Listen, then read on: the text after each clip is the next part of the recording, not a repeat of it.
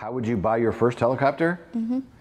Oh, this is a big topic. Um, I have made, I've done this video or this topic on YouTube many, many, many times over the years. And it's a good, it's a great question, right? So I'm, I'm not complaining. It's just, I answer this a lot.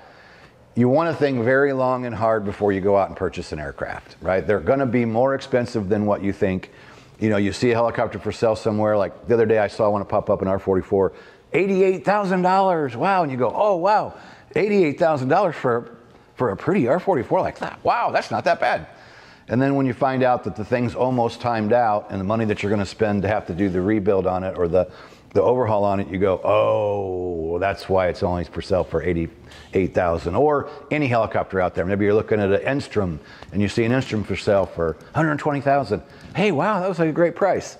Well, the engine's probably close to being needing an overhaul or a gearbox, whatever the case is. So helicopters, hands down, are super expensive. If you want to get past that, right? Like, just be prepared that this thing is going to cost you, no matter what somebody tells you and what you figure on paper, it's going to cost you more.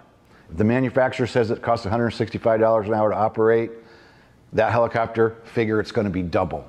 Because you can figure insurance, you can figure you can guess on maintenance. You'll know you have annuals and 100 hours and all those inspections, but it's the breakdowns throughout the year. Or it's you run the rotor blade into the side of the hangar going out the door and you got to replace a rotor blade for 40 grand. It's the things that pop up that you're not prepared for that really kills operators. So get past the money part. Money for, let's say, for any individual, the money is no problem. You should start in a smaller aircraft like the typical training helicopters. R22, R44, a Schweizer, a Cabri, an Enstrom, all good helicopters, right? If you're gonna fly, buy one for yourself, you would need to go fly them, right? Like if you're gonna put that kind of investment into it, I would go sample them, you know, go get some intro flights, go actually get in them, right? And see how they fly. How do you fit in them? For example, the R22 doesn't work for a larger frame person or a really tall person. They just may not fit well in the R22 and they may be overweight by what the limitation is. And that doesn't mean you're fat, it means the R22 is built to haul like two, let's say medium sized people.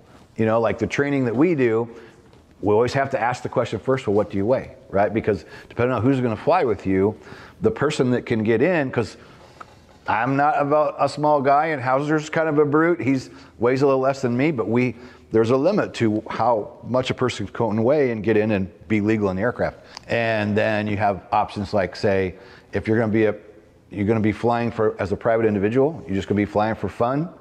An Enstrom's a great choice because of that fully articulated rotor system, nice and stable. Um, it has a nice baggage compartment on it where you could put in a small suitcase. You could almost fit golf clubs in there, but it might not be quite deep enough. But an Enstrom has, it's a little more fancy, it's a little more comfortable, looks a little more like a real helicopter. I mean, they're all real, but you know, there would be advantages to an Enstrom. Um, Schweizers are cool little helicopters, great trainers, but there's no baggage on those either. And they're slow. Cabri's pretty popular, getting popular now. Another good choice, fully articulated system. They're cool little helicopters. Has a small baggage area, but very, very, very handy. To give you advice on what you should buy, um, if I was gonna say pick one, I'd pick an R44.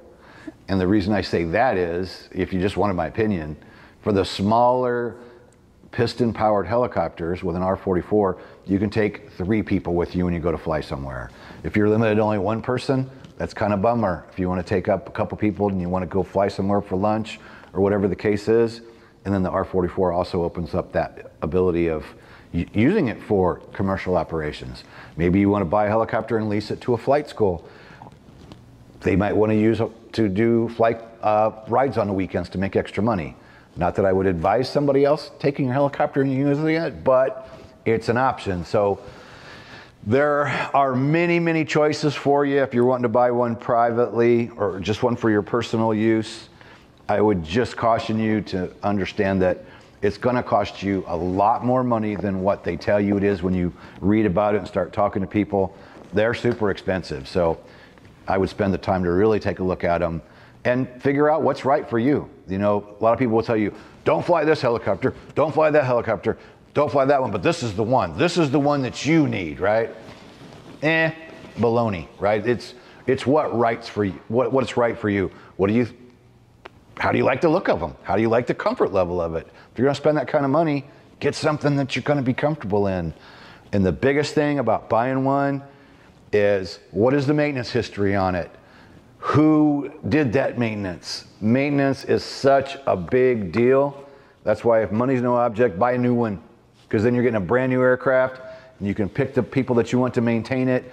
You know you're not getting something that's been wrecked, been beat up, been used in training, uh, has logbooks that maybe may or may not be on the up and up because there's a lot of shady stuff that goes on in our industry, unfortunately, but it's the world we live in. So I would just take the time to research, pick what's best for you. But my number one choice would be R44 would be the way to go. And our clone is located at askhogs.com. You can go below and click on the link to go check it out. 24 hours a day, seven days a week, you can ask training related questions, flight and ground. 14 years of my contents loaded in this thing blogs, podcasts, videos, paid content, free content. There's over 6 million words piped into my clone. It's amazing. Go down below, askhogs.com. The clone is free to everyone, and the clone is also inside of our hog site on every video, every page. So you can be in viewing videos and you can always ask the clone a question while you're at it so you can get an immediate answer. First, right here is free. Free PDF, Private Pilot 101 Helicopter Training Blueprint. That's why we created this. And let me cover what's in the first chapter. Since you ask and you're at the beginning, that's why we created this. The first chapter are questions that we've, we took like the top 10 questions that we get all the time, like, is learning how to fly a helicopter difficult? How long will it take to become a private pilot? How much will it cost to become a private pilot? What is the best approach to selecting a flight school? What are the key differences between helicopters and fixed wing aircraft? How many tests will I have to take? How many hours for solo in the license? Kenny's recommended training supplies. So this is absolutely 100% free. You can go down below. There's a link down below, or you can type in your browser, privateblueprint.com, and you can download immediately after you sign up. You'll sign up, enter your name and email, and the next page will show you download your book here. That's where you should start because, again, it's free. Or subscribe to the YouTube channel.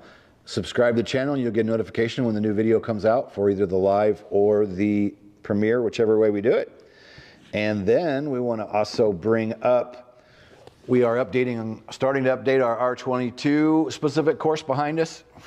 Course behind us. Course using the helicopter behind us. Lindsay's in charge of getting in there and updating some images in the R22 site uh, section of hogs. We have R22 specific section and an R44 specific section that come with any of our memberships. So you don't have to buy that specifically. We use Private Pilot, for example, monthly membership. It has both the R22 and R44 sections in there. And since we have an R22 available for, to us and an R44 available to us, we thought why not get the content updated in those courses with some fresh videos, fresh images. And also want to mention hogspaysme.com. This is passive income. You want to earn some money, particularly if you're a flight instructor. Anybody can use the Hogs affiliate link. You go to hogspayme.com. That link is down below. You'll sign up for it.